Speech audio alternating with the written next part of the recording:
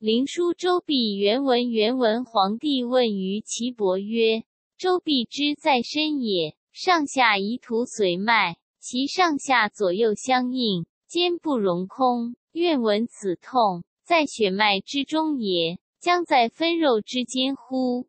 何以治是？其痛之疑也。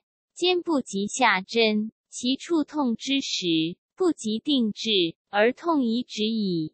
何道使然？愿闻其故。岐伯答曰：此众必也，非周臂也。皇帝曰：愿闻众必。岐伯对曰：此各在其处。更发更止，更居更起，以右应左，以左应右，非能周也。更发更修也。皇帝曰：善。自之奈何？其伯对曰：自此者，痛虽已止，必刺其处，勿令复起。帝曰：善。愿闻周必何如？其伯对曰：周必者，在于血脉之中，随脉以上。随脉以下，不能左右，各当其所。皇帝曰：赐之奈何？岐伯对曰：痛从上下者，先刺其下以过，别本作恶之；后刺其上以托之。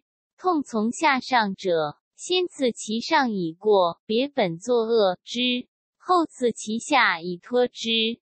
皇帝曰：善。此痛安生？何因而有名？岐伯对曰：风寒湿气，克于外分肉之间，迫切而为末。末的寒则聚，聚则排分肉而分裂也。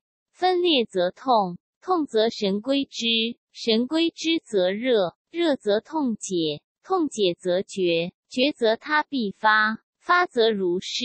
帝曰：善。予以得其意矣。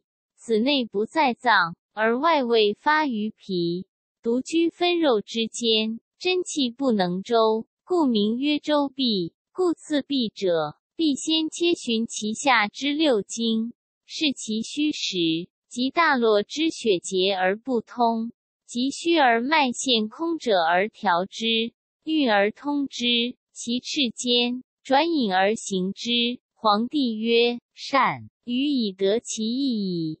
亦得其事也。九者，经训之理，十二经脉阴阳之病也。